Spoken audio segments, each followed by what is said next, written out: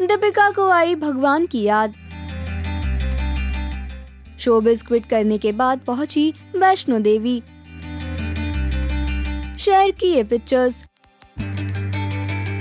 क्या है पूरी खबर? आइए जानते हैं। कुछ दिन पहले मीडिया रिपोर्ट्स के मुताबिक दीपिका ने शोबिस को अलविदा कह दिया है। इसका कारण दीपिका ने हेल्थ इशू बताया था।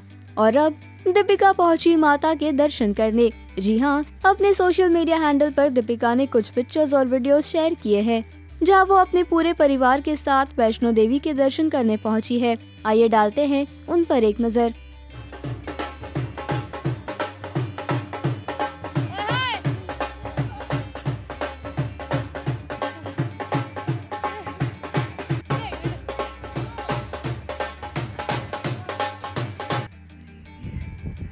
嗯。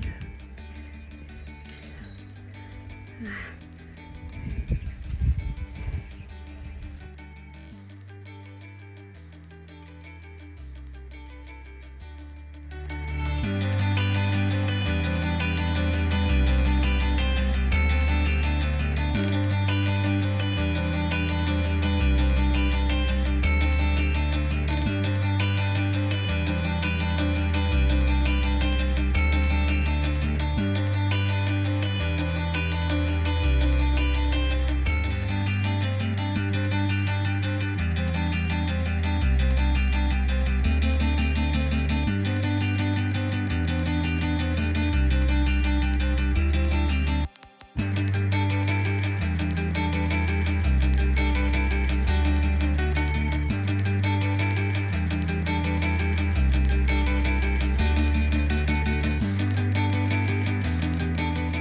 वेल दीपिका भले ही छोटे पर्दे से गायब है, लेकिन सोशल मीडिया के थ्रू वो अपने फैंस के लिए हमेशा एक्टिव रहेंगी।